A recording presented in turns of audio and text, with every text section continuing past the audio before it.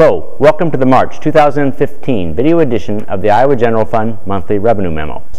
I'm Jeff Robinson, Senior Fiscal Analyst for the Iowa Legislative Services Agency, the nonpartisan support agency of the Iowa Legislature. Net General Fund revenue experienced a slight decrease of 0.3% in March. Payments made with individual income tax returns were down for the month, and this was expected as March is the month farm income tax returns are due, and farm income is expected to be down for tax year 2014. In addition, quarterly withdrawals of sales tax revenue were quite a bit higher than last year. The withdrawals generally relate to local option hotel motel tax receipts and sales tax arrangements that utilize tax increment financing. On the positive side, corporate tax deposits were higher and tax refunds were lower than last March.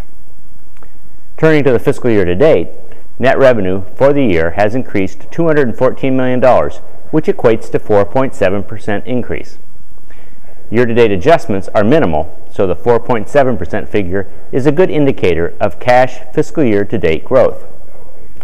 This chart provides general fund growth on a cash year basis by major net revenue category. The time frame for the chart is July 1 through March 31. On the right side, you see that overall net growth is $215 million.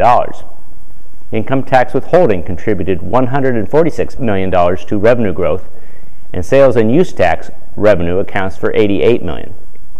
With the filing of farm income tax returns in March, this category of estimate payments and payments with tax returns is down $25 million and corporate tax deposits have decreased $13 million for the year. The Revenue Estimating Conference met on March 19th to review and re-estimate general fund revenue for fiscal year 15 and 16. The March Revenue Estimating Conference projects fiscal year 15 net revenue, including transfer revenue, will equal $6,767 million, an increase of 4.3% compared to actual 2014 revenue. For fiscal year 16, the projection is now $7,176 million, an increase of 6% compared to the revised 15 estimate.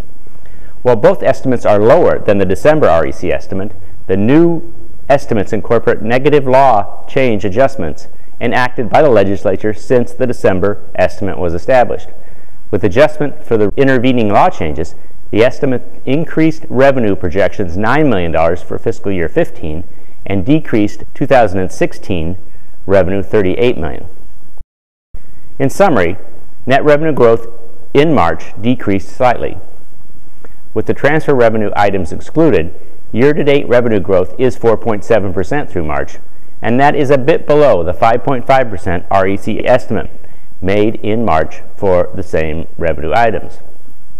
With the exception of farm income, tax returns filed so far this tax season are showing growth across all sources of income. So there is a good chance that once the income tax returns are processed, the results will be quite positive for fiscal year net general fund revenue. Goodbye, thank you, and please check out the next monthly video memo in early May.